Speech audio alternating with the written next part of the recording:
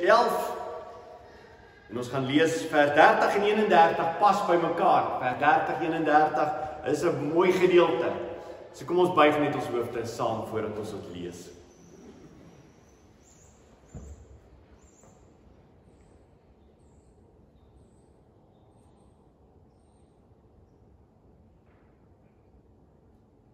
O Here, dis lekker om by mekaar te wees.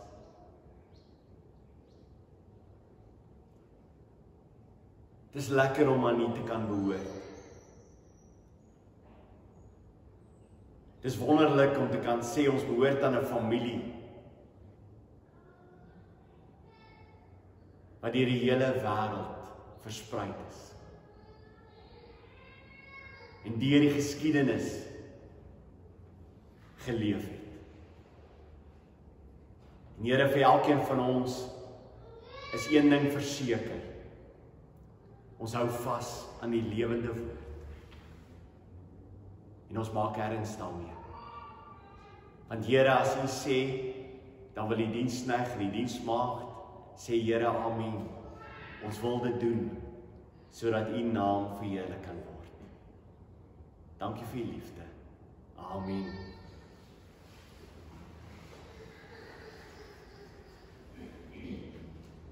Die gemeente lewe as babetjies op skree. Dis wonderlik. Hebreërs 11 vers 30 en 31. Onthou weer eens waaroor gaan Hebreërs 11? Dit is elke keer belangrik om vir mekaar te sê.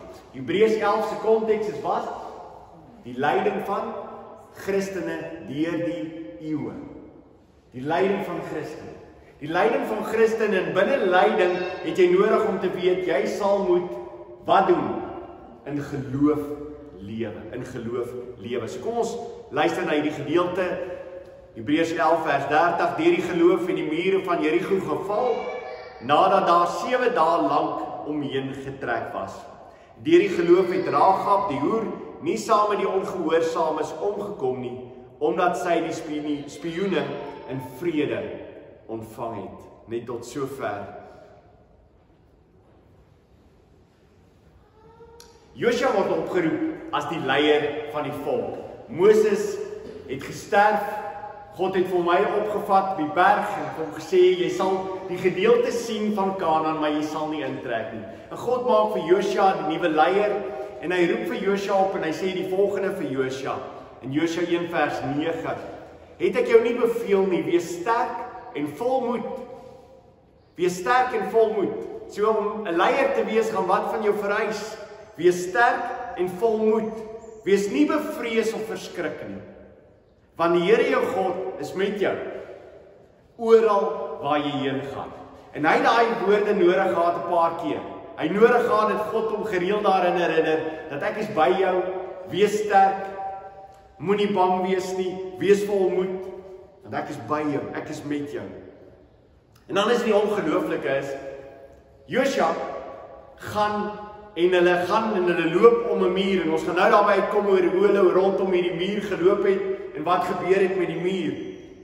Maar die interessante is van hierdie muur is dat die mure mekaar geval het. En die muur het in mekaar geval omdat daar geloof toegepas is. Dit is ongelooflik. As gevolg van geloof het die muur geval. Van die muur het nie geval as gevolg van 7 dae daar rondom trek nie. Kyk, dis nie 'n tegniek nie. Wel baie mense gehoor van 'n tegniek. Hulle hulle hulle gaan 7 keer rondom 'n stad. Ek weet nie of hulle nie dalk bang is die stad gaan omval by die 7de keer. Dis nie 'n tegniek nie. Dis 'n opdrag van God af en daarom is dit 'n pad van geloof, geloof. Christus-dom, een van die kerkvaders het gesê die trompette kon blaas vir 1000 jaar. Dit sou nie een muur laat omval nie, maar geloof kan enigiets doen. Daarom sê Jesus wat rondom geloof. Hy sê as julle die geloof het, kan julle vir hierdie berge sê skuif in die see. Wat is die konteks van hierdie gedeelte? Die konteks van hierdie gedeelte is dat Jesus die vrye boom vervloek het en daarna het die disippels gekom, hulle die vrye boom vervloek gesien en hulle sê, "Jo, hoe het dit plaasgevind?" En hulle weet Jesus het hom vervloek, maar daar is hy uitgedroog. En Jesus sê vir julle as julle die geloof het, so mos dit saadjies aan julle vir hierdie berg sê, gaan in die water in. Plaas jouself in die water in.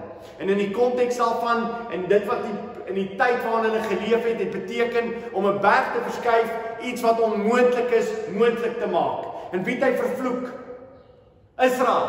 Israel is 'n vyeboom wat nie wou luister nie. Israel is die vyeboom wat hom sou kruisig. En God wys vir die disippels dat daar net een manier is dat Israel weer 'n nuwe volk sou wees. Mense sal tot bekering kom. Is wat sal plaasvind?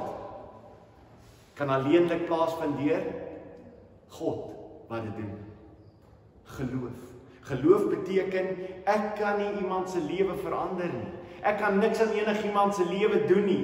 Dis alleenlik God wat die werk doen en ek moet net gehoorsaam wees en hy sal die werk doen. Dit is wat hierdie gedeelte vir ons vertel.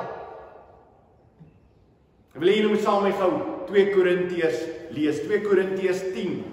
2 Korintiërs 10 vers 3.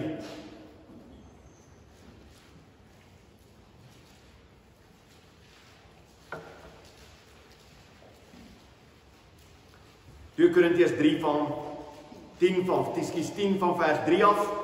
Kom ons kyk daai gedeelte.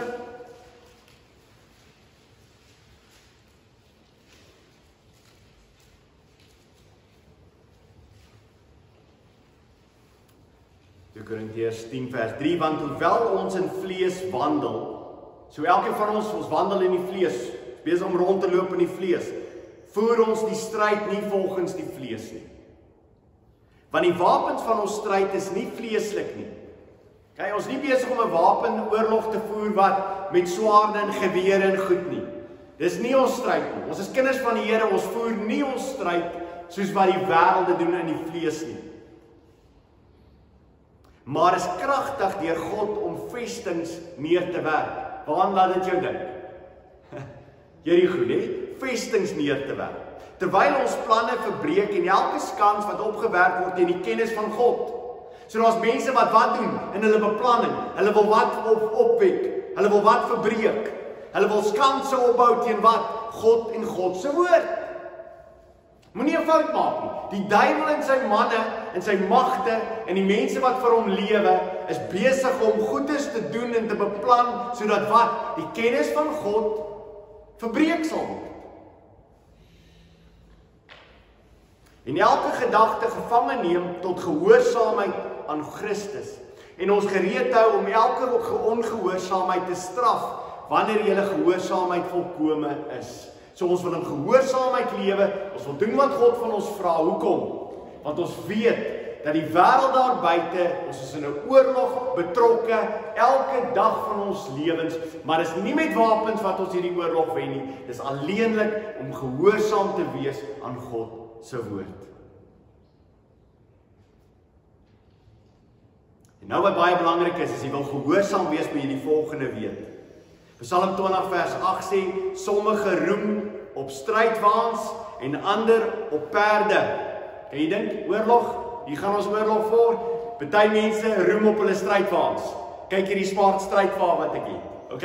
Hy is uitgerus, toegerus, die beste equipment op hierdie strydwa. Vandag sou ons sê hier is 'n kanon. Amazing kanon of hier is 'n vegvliegtuig. Wat 'n ongelooflike vegvliegtuig. Hy sê party roem op strydwaans en ander op perde, maar ons roem op die naam van die Here ons God. Ons roem net in God.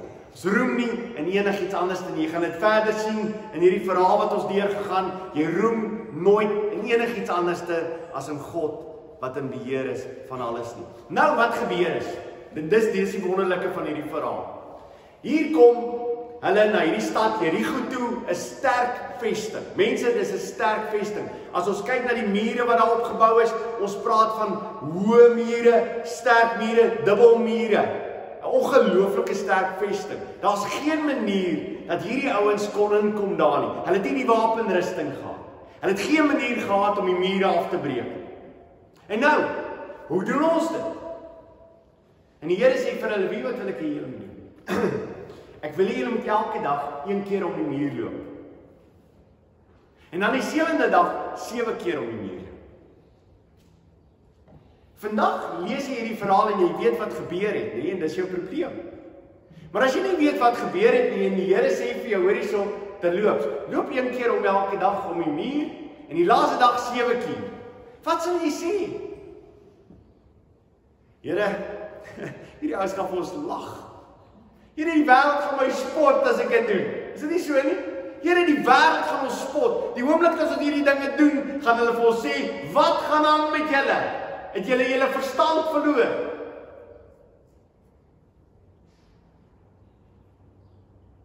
7 dae lank, en dis die ding, 7 dae lank is hulle gehoorsaam aan die Here. Elke oggend staan op, dan gaan hulle stap op. Kom terug na die kamp toe. Bly daar. Tweede dag tot die sewende dag. Sewende dag sewe keer rond. En wat moes hulle die sewende dag doen? Dis die trompette en die manne blaas. En die res van die mense skree. Ja! Nou, kom ek vertel vir julle gou iets of jy as jy dit nie geweet het nie. God het nie die trompette nodig gehad en God het nie die stemme nodig gehad. Weet jy wie dit weet?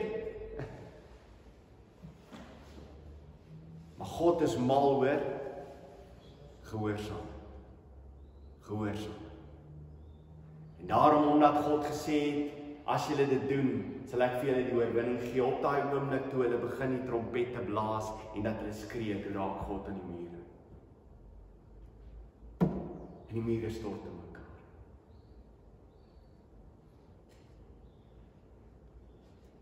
Baie keer in ons lewens roep die Here ons op om dinge te doen wat vir die wêreld en baie keer vir jou as persoon in daai situasie nie sin maak nie.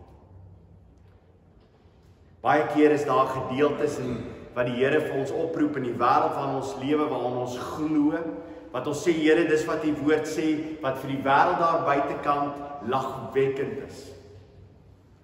Ek dink baie keer as ek dink aan God se opdragte, dink ek aan Naaman. Naaman wat belaats is en Naaman wat op pad is na Israel toe met hierdie idee hy gaan nou net iets amazings ervaar van hierdie God wat wat dinge doen.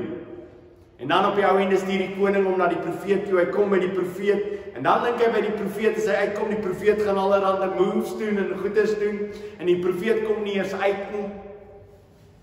Profeet stuur sy diensknegt uit, sy slaaf uit en hy sê vir sy slaaf, hoor hierson sê vir daai ou hy moet gaan bad. Sewe keer in die Jordaan. Nou weet nie of jy geweet het nie, maar jy sê nie vir 'n generaal hy moet gaan bad nie. Natuurlik Naaman is ongelukkig daaroor. En hy ry terug en hy sê daar's baie beter riviere in Damaskus. Wat dink hierdie ou van my dat ek myself in Jordaan gaan was? En dan sê een van sy manne vir hom, sou jy nie iets gedoen het as hy dit groot gevra het? Wat nou van hierdie klein ding wat hy van jou vra? Naaman gaan af na die Jordaan toe en wat doen hy? Hy duik in die water. Een keer. Twee keer. Drie keer en ek kan vir jou beveel, vertel, daar het niks ligter geraak. Tot die sewende keer. En toe hy opkom, is hy gesond. Ek kyk baie keer na dit wat die Bybel vir ons sê in die tyd van ons lewe en ek hoor hoe die wêreld vir my lag. Ek hoor hoe die wêreld vir my lag as ek vir hulle vertel dat God 'n huwelik gemaak het tussen 'n man en 'n vrou. En ek hoor die wêreld lag vir En ek hoor hoe die wêreld vir my lag as ek vir hulle sê die Bybel gee vir die man bepaalde pligte om die leier te wees, om die heer te wees in die huwelik en die vrou om onderdanig te wees. En ek hoor hoe die wêreld vir my lag. Ek hoor hoe die wêreld vir my lag as ek hulle vertel vandag dat daar net twee geslagte is, 'n man en 'n vrou. Ek hoor hoe die wêreld vir my lag as ek hulle vertel dat ek elke maand my tiende vir die Here gee.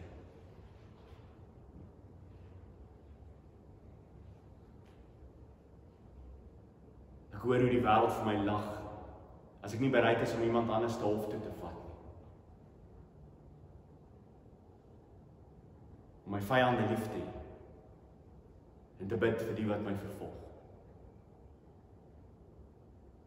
As die wêreld nog nooit vir jou gelag het nie, is miskien die probleem is dat jy nie duidelik vir hulle sê wat jy glo nie.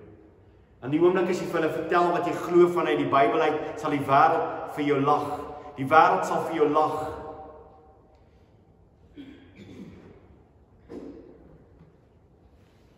Maar ek wil vir jou een ding sê, hoe meer ek groei in my geestelike lewe, hoe meer het ek agtergekom die dwaas die wêreld is. Die wêreld is dwaas want hulle glo dat uit niks uit het iets ontstaan. En ek kan nie glo dat iemand dit kan glo nie. Die wêreld is dwaas omdat hy nou wil vir my vertel daar meer is as twee geslagte is. Die wêreld is dwaas omdat hy dink vir ewig gaan hy lewe op hierdie aarde. Die wêreld is dwaas omdat hy alles bymekaar maak om vir homself hier vas te hou asof hy nooit gaan verloor nie. Die wêreld is dwaas omdat hy dink hy kan God voorskryf. En dat hy God self sal voorskryf in die kerk.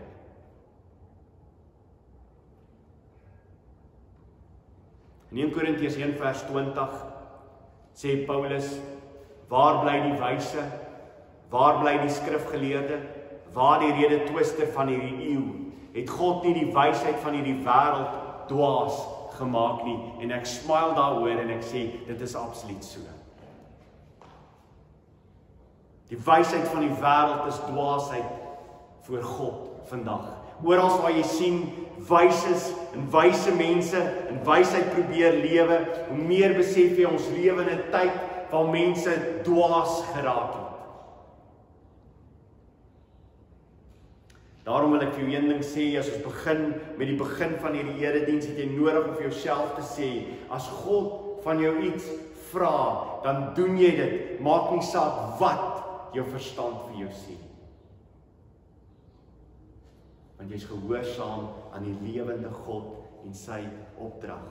So as hy vir jou vra om hom te gehoorsaam in jou huwelik, dan sê jy Here, ek doen dit net soos U van my vra.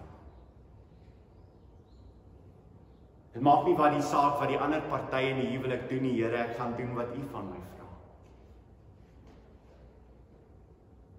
Die lewende wêreld en jy's bereid om getuie vir hom te wees. Maak nie saak of die wêreld vir jou lag oor dit wat jy glo en die manier hoe jy lewe nie.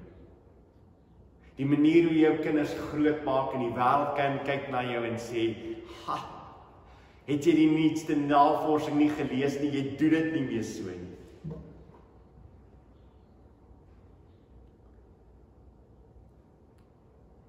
Dit is ongelooflik dat Jesus vir hulle vertel die volgende in Matteus 11 vers 19. Die seun van die mens het gekom, hy eet en drink en hulle sê daar is 'n mens wat 'n vraat en 'n wynsuiper is, 'n vriend van tollenaars en sondaars. En dan 'n belangrike deel van hierdie vers, baie van ons mis, wat sê Jesus aan die einde? Hy sê: "Maar die wysheid is geregverdig deur sy kinders." Het jy dit gehoor? Maar die wysheid is geregverdig deur die kinders. Wat sê Jesus daardeur? Jy sal sien deur die regverdiges hoe hulle lewe as hulle my gehoorsaam, sal julle ontdek deur hulle lewens dat wysheid na vore kom in die manier hoe hulle lewe. Kyk na hulle kinders, jy sal sien die wysheid om hulle groot te maak soos ek van jou vra. Kyk daarna. Kyk na die huwelik wat gebou is op my woord en wat hulle lewe volgens my woord. Jy sal dit sien in hulle huwelike. Die wysheid word geregverdig deur sy kinders, deur die manier hoe hulle leef. Daar is die antwoord. Terwyl daai tyd plaasvind, is daar 'n ander vrou wat deel vorm van hierdie hele verhaal. Want as die mure val van Jerigo, is daar een deel van die muur wat nie sal val nie. en dit is 'n amazing verhaal. Haar naam is Rachab. Rachab. My ongelooflike is van Rachab, is elke keer as ons Rachab hoor in die Nuwe Testament word daar gesê Rachab die hoer. Ja, in die in die was al vertel word oor die geskiedenis van Jesus waar hy vandaan kom word dit nie so nie. Maar Jakob Jakobus as hy wil iets van jou Ragab vertel of Hebreërs sê iets van Ragab om hulle vertel Ragab die hoer. En daar's 'n rede daarvoor. Want as jy 'n hoer was, was jy die laagste van jou eie mense.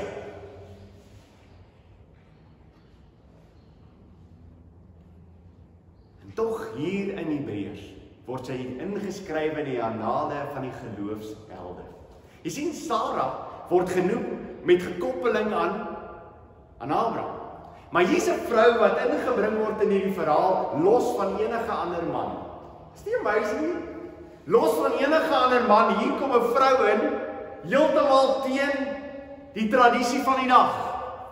Bring God 'n vrou in en hy sê ek wil julle vertel van 'n geloofsheldin, 'n amazing vrou. Kan jy dink die vroue in die kerk hoe sit hulle sê Wie is hierdie vrou? Hæ? 'n Vrou wat ingetrek ingebring word tussen al die mansfigure, geloofshelde hier in die annale word 'n vrou ingebring. 'n Meiling vrou. Wie was sy? Professor dokter Dominee so en so. 'n vrou. Wie sê wat sy hoor? En dis die oomblik wanneer jy vir jouself afvra, hoe is dit moontlik? Hoe is dit moontlik? Wie is hierdie vrou wat genoem word sy is 'n prostituut? Sy is 'n hoer wat ingeskryf word in hierdie verhaal. Wat is hier aan die gang? Jy sien as jy in die Nuwe Testament kom, dan word vir jou vertel van Levi die tollenaar. Levi die tollenaar. As jy hoor van Simon, een van Jesus se disippels ook, Levi is ook een van hom, sy ander naam is Matteus, hoor jy ook van Simon die Seloot. Simon die Seloot. Die rede hoekom hulle bietjie 'n beskrywing het oor hulle name is omdat God wil sê ek wil jou vertel ek kry mense uit verskillende standighede. Ek roep hulle. Ek bring hulle in want dit het alles te maak met met my. Alles te maak met my. In 1 Korintiërs 1 skrywe Paulus dit vir my so mooi.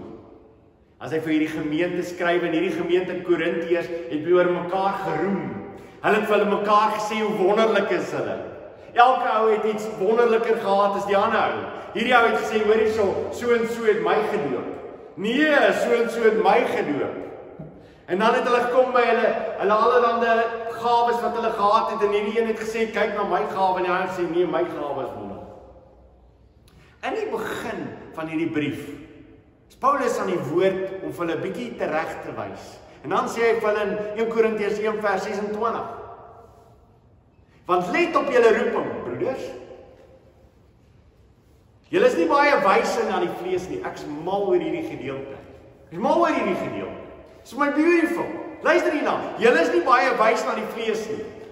So kyk oor die gemeente en ek sê hoor hier is al nie baie van julle ouens is slim wat hier vanmôre sit nie.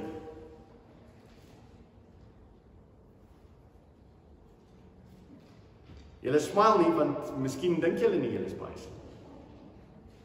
Maar dis wat hierdie gemeente, hy wil sê julle is nie baie slim na die vlees nie, nie baie magtig is nie. Nie baie edel is nie. Maar wat dwaas is by die wêreld, het God uitverkies om die wyse te beskaam. En wat swak is by die wêreld, het God uitverkies om die sterkes te beskaam. En wat onedel is by die wêreld en wat verag is, het God uitverkies en wat niks is nie om wat iets is tot niet te maak. Sodat geen vlees voor hom sou roem nie. Daar's niemand wat eendag in die hemel gaan staan en gaan roem voor God en sê, "Here, het ek dit nie goed gedoen sodat ek vanmôre in die hemel kan wees nie." Elke een gaan sy kroon afhaal sê Openbaring en voor sy troon neersit en dan sê aan U alleen, aan U alleen kom toe die heerlikheid en die krag tot in alle ewigheid. Maar die wederbaring wat in my lewe plaasgevind het, het alleen plaasgevind omdat die hemelse Vader gesê het, ek gaan dit doen. En ek gaan jou lewe dag Daarom sê 1 Korintiërs 1 vers 31, daarom soos geskrywe is, die wat roem moet in die Here roem. En jy kan verseker wees Ragab kon in die Here roem. Ragab kom vir jou vertel hoe sy in die Here sal roem oor wie sy is. Want sy weet van waar sy vandaan kom.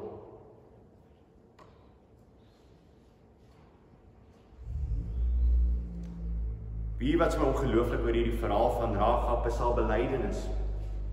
Haar belydenis as hierdie manne na haar toe kom, dan vertel sy vir hulle hoe groot hierdie God is van hulle. Hoe groot hierdie God is van hulle. In Josua 2 vers 9 tot 11 staan die volgende. En aan die manne gesê, ek weet dat die Here die land aan julle gegee het. It's amazing, né? Hier's 'n vroutjie, sy's 'n prostituut en sy maak hierdie ongelooflike belydenis. Luister. Sy sê vir die manne wat daar by haar aangekom het, ek weet dat die Here die land aan julle gegee het. Ek weet hy het dit aan julle gegee. Wie? Die Here. En as jy kyk na Here, sal jy sien in die ou vertaling, weet jy of in die ou vertaling sal jy sien die Here staan daar met hoofletters H E R E. Dit beteken dat in die oorspronklike taal staan daar Jahwe. Die Here titel vir God. Jahwe. Sy het hom nie iets anders te genoem nie. Sy het hom genoem die naam wat gegee was vir Israel om hom te noem. Sy noem hom Jahwe. Sy sê ek weet dat Jahwe die land aan julle gegee het en dat die skrik vir julle op ons geval het en dat al die bewoners inwoners van die land vir julle bewe. So, julle moenie bekommer wees nie. Ons bewe. Ons bewe hier waar ons in die land is. Dit is interessant genoeg, nê, dat al die mense in die land het gebewe en gevrees. Maar net sy het gehoorsaam. Baie mense wat bewe. Gaan nie oor of jy bewe nie, dit gaan oor of jy bewe om te gehoorsaam. Nou vers 10 van Josua 2 sê sy, want ons het gehoor dat die Here weer eens Jahwe die water die skelfsee voor julle by julle uittog uit Egipte laat opdroog het en wat julle die twee konings van die Amorite in Sion en Og oor kan die Jordaan aangedoen het dat julle hulle by die bandvloek getref het. Toe ons dit hoor, het ons harte gesmeld sodat hy by niemand enige moed meer oorgebly het teenoor julle nie, want die Here julle God, hy is God in die hemel daarbo en op die aarde hieronder. Hoe lyk dit vir 'n vroutjie wat 'n Kanaaniet is? Wat nie 'n cooking clue het van wie hierdie God eintlik is. Wie dink jy het vir haar vertel wie hierdie God is? Wie dink jy het in haar lewe 'n verandering teweeg gebring en in haar lewe die boodskap gebring oor wie hierdie God is? Die Heilige Gees. Die Heilige Gees.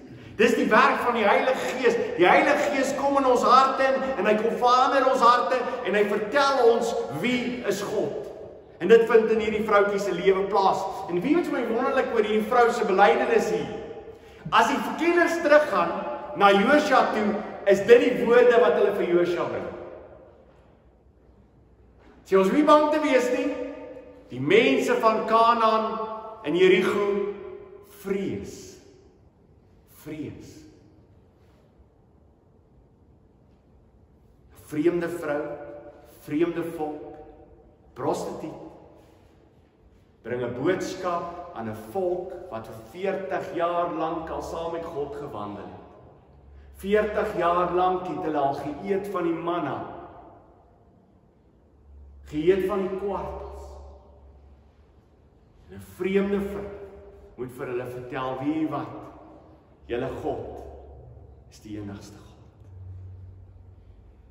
Jy hoef nie bang te wees nie. Jakobus 2 vers 25 vertel van ons oor Ragab en sê vir ons dat Ragab was geregverdig en luister hierna en is Ragab die hoer nie ook net so geregverdig uit die werke toe sy die boodskappers ontvang en met 'n ander pad gestuur het So wat het gebeur in haar lewe?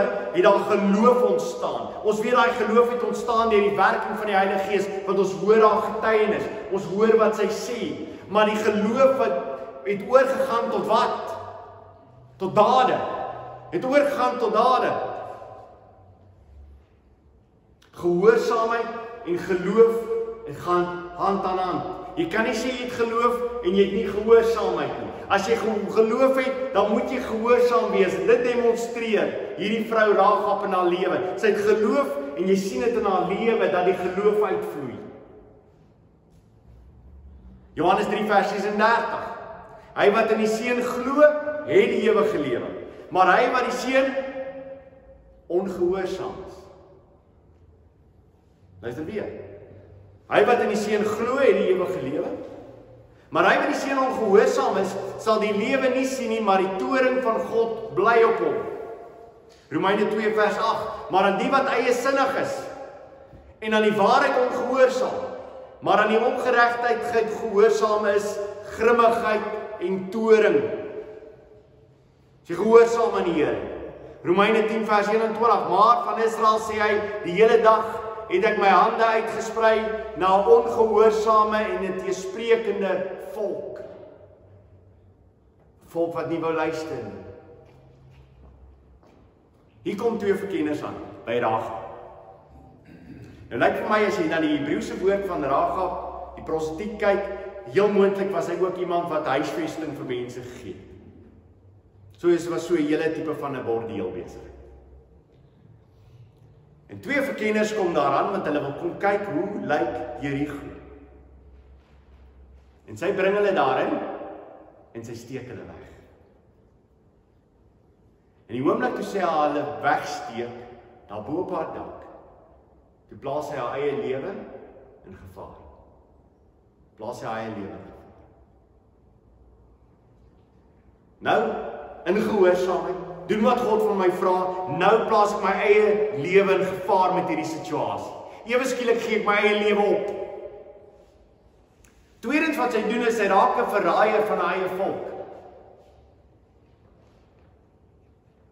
As jy kind van die Here is, is die eerste ding wat in jou lewe plaasvind is jy verloor jou volksidentiteit.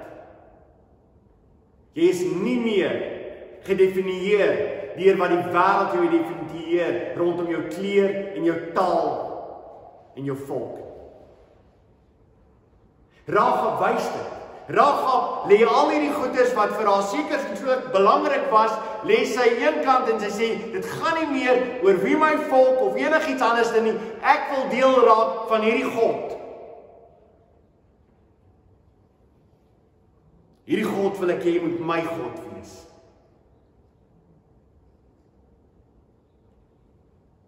Sy raak 'n volksverraaier. In die geskiedenisboeke is dit nie goed om 'n volksverraaier te wees nie, is dit nie? Niemand onthou jou baie goed in die volk en sê, "Ah, Johan was een van sy paale was volksverraaiers geweest, amazing familie." Jy sien as jy besef die toekoms is verby vir enigiemand anders as hy nie vir hierdie Jahwe aanbid nie dan maak dit nie vir jou saak oor wat mense van jou sien. Ek wil vir julle vanaand hier inbring. Is dit nie dat Jesus sê as jy my wil volg, moet jy jou kruis opneem en saam met my kom? En dis presies die ongelooflikes van hierdie verhaal in die Ou Testament is hier vind ons 'n vrou wat alles op die altaar los van haar geloof vir hierdie God en sê ek is bereid om alles op te gee vir haar vir hom. Ek gaan hom volg. En dan kom die soldate daar en hulle sê vir hom, "Hoorie so, weet jy van so en so, hier's ouens wat besig is om weg te kruip, weet jy waar hulle is?" En dan lieg sy. En wie is my ongelooflik? Die meerderheid meerderheid van mense kyk daar en sê, "Sy nie gelieg nie." Dis bad.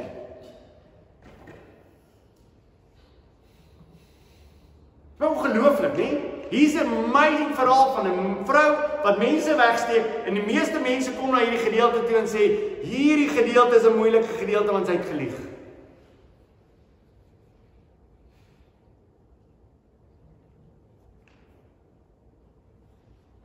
Wie waaroor is God bekommerd?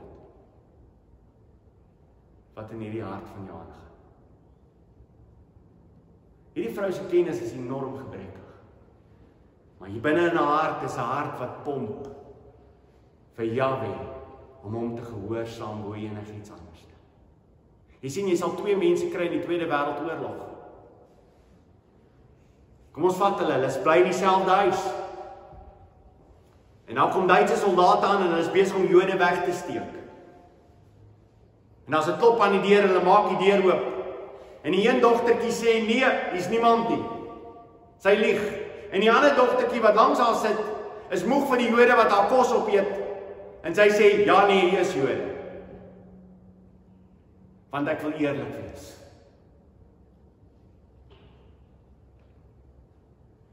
Wat gaan in die hart? God is bekommerd oor wat gaan in jou hart. Waar gaan hierso in jou hart? Waaroor gaan dit? Waaroor gaan dit vir jou?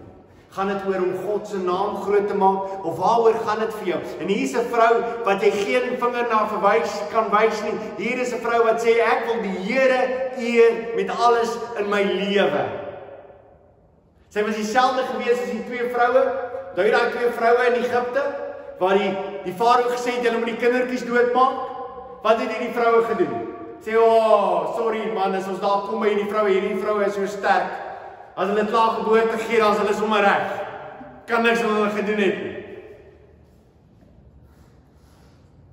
God het hulle geëer. Want die hart van die vroue was ons wil nie kindertjies doodmaak nie. En dan gebeur iets ongeloofliks. Die soldate sê vir haar: "Wie wat? Ons gaan nou vir jou iets doen." En sy sê: "Ja, asseblief, en ons wil ek wil hê julle moet ook dit vir my familie doen." En sê: "Ja, ons sal dit vir jou familie doen, maar jy moet sorg dat jou hele familie daar binne in is." En nou wat jy moet doen is jy moet die rooi tou wat jy nou besig is om vir ons af te hang, waarvan ons gaan afklim, jy moet asseblief daai rooi tou daar los. Dat as ons weer kom, dan weet ons waar jy is. OK. So, soldate is af, daar by die rooi tou, daar gaan hulle. Wie wat doen hierdie vrou? Sy bind die tou onmiddellik aan haar venster vas. Nou nou sien jy moeilikheid. Is dit nie? Wat 'n mens as jy weet hier is jou mense van jou volk. Hulle soek die vyande. Jy gaan en jy vat 'n rooi tou en jy bind dit rondom jou dat almal dit kan sien. Dat die hele omgewing van Jerigo kon sê, wat gaan dan in daai vrou se huis van 'n hange rooi tou by haar huis uit? Dink jy kinders van die Here is dit nie? As jy kind van die Here word, wie wat? Jou Christendom hang by jou uit. Wie dit dit? Dit hang uit. Almal kan dit sien. Niemand kom na jou toe sê, "So is jy Christen." Hæ? Huh? Dis maar die wees ding. Niemand het nog na my toe gekom en gesê, "Ek wonder of jy 'n Christen is." Ja, is jy 'n Christen? Dit straal uit my uit. Dit moet uit my uitvloei. Dit hang uit my lewe uit. Ek kan onthou 'n klop jare terug het ek in een van die dienste het ek 'n kinderdiens hier gehou en ek het vir die kinders gesê hulle moet 'n rooi toutjie rondom hulle bind. Sodat hulle as op skool kom en iemand vra vir hulle hoekom is daar rooi tou dat hulle sê wie wat Christus Jesus is my koning en hy hang uit my lewe uit.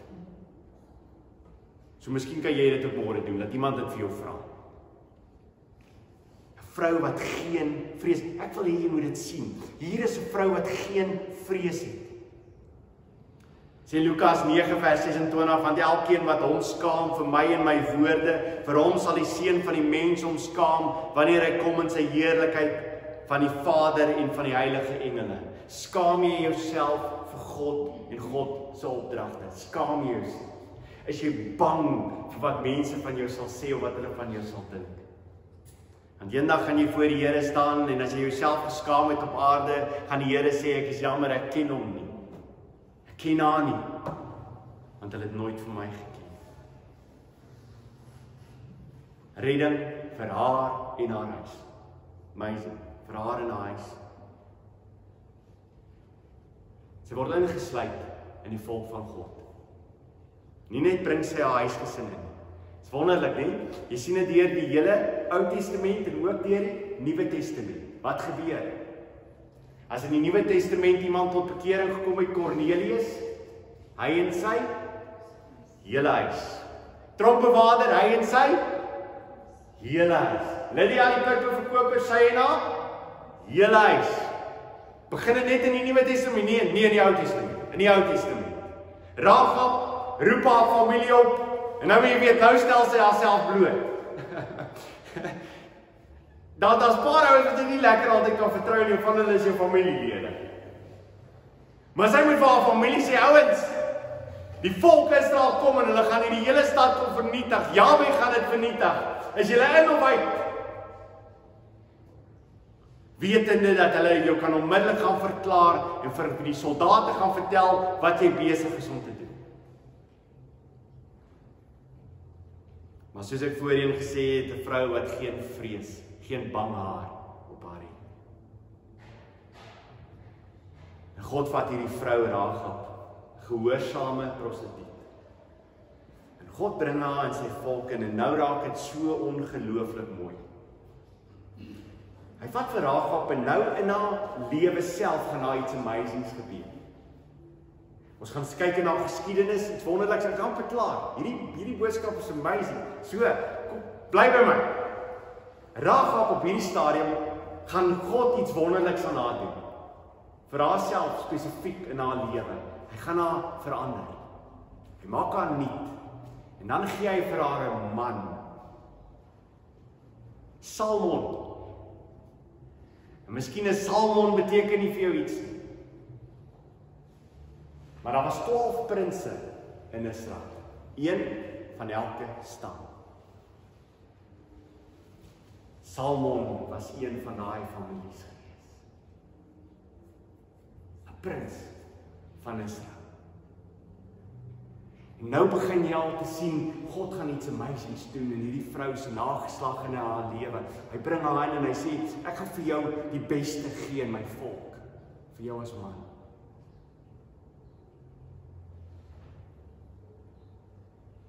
'n vrou wat 'n prostituut is raak 'n prinses in die volk van God.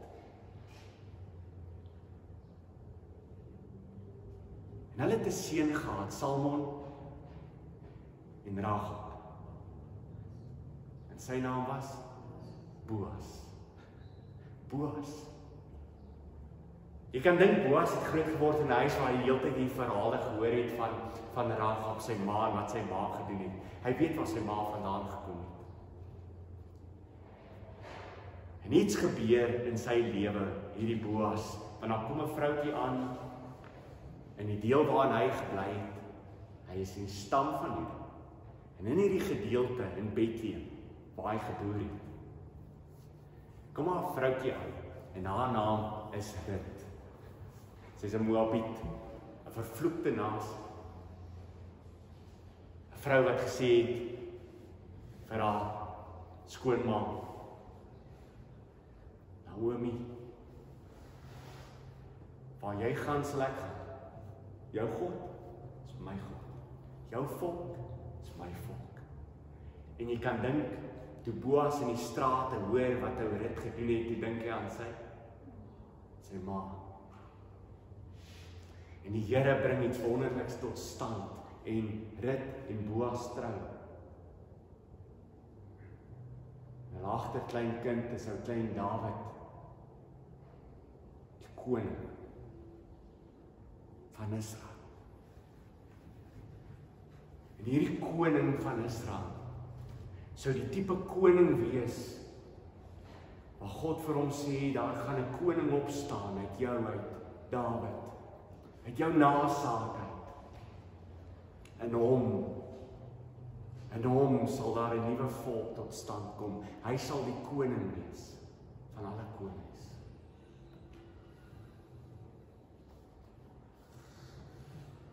Min of meer 1000 jaar later in Bethlehem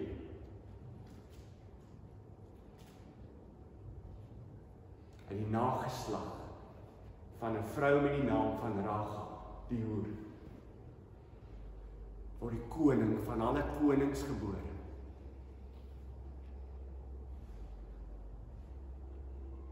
Die een wat sy lewe kom gee het aan die kruis.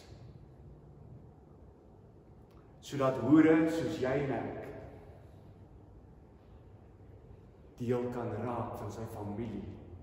Wat bestaan uit elke volk en stam en taal en nasie. Aan hom alleen kom die eer en die roem van my hart. Amen. Kom ons buig ons hoofde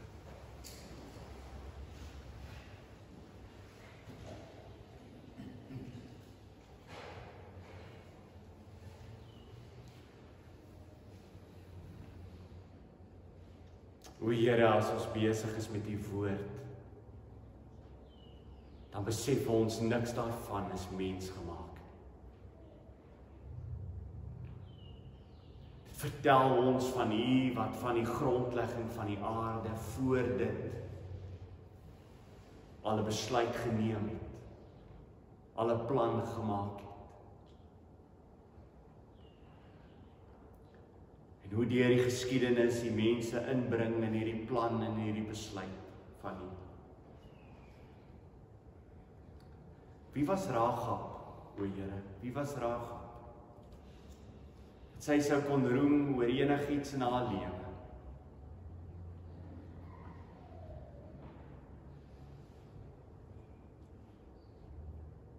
Maar daai boodskap, Here, vanmôre tref vir elkeen van ons teen die bors. As ons na ons eie lewens kyk en vra, wie is ek? O Here, wie is ek? Dat U met my bemoeienis maak. Dat U my deur die Gees kom lewendig maak het. Dat U Gees in my uitgestort het.